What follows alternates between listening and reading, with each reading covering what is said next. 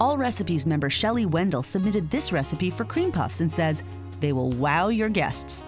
They're an easy and impressive way to make a great dessert. Just whip them up and watch them disappear. One of the tricks in this recipe is the use of instant vanilla pudding for the filling.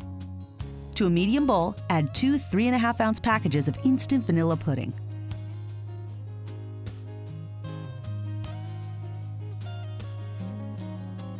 Put in two cups of heavy cream,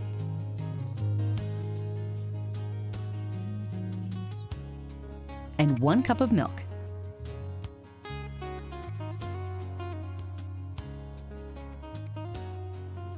Stir this mixture until it's fully combined.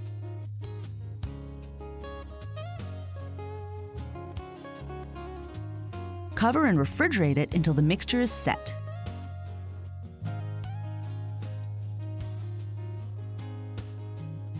Next, preheat the oven to 425 degrees. Now it is time to make the outer shells from a light pastry dough. To do this, start by cutting half of a cup of butter into four pieces. Then add one cup of water to a medium saucepan along with the butter. Bring it to a rolling boil. Add one cup of flour and a quarter of a teaspoon of salt.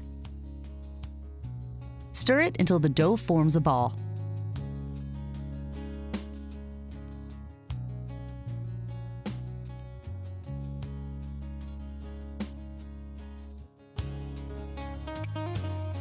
Transfer the dough to a stand mixer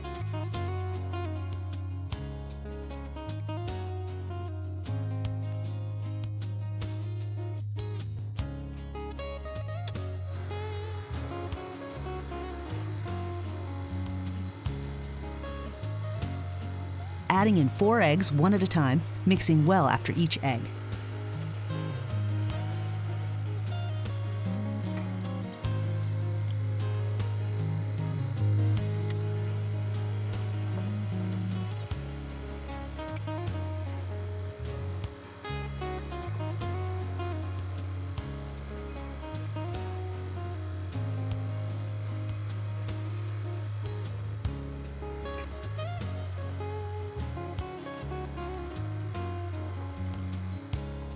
Using a tablespoon, drop the dough onto an ungreased baking sheet.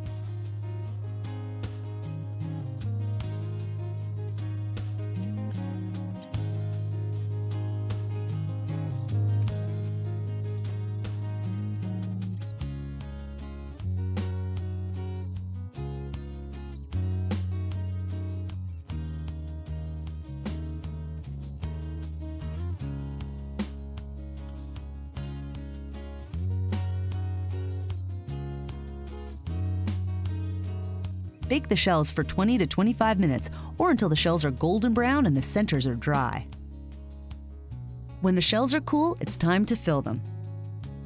You can either split the shell and spoon the filling right on, or place the filling in a pastry bag and pipe it into the shell.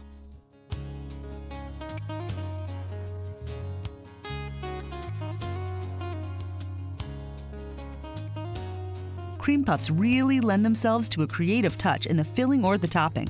Allrecipes member Alan Rose suggests finishing with a drizzle of melted chocolate for a scrumptious accent. For a more elegant look, dust them with a little powdered sugar.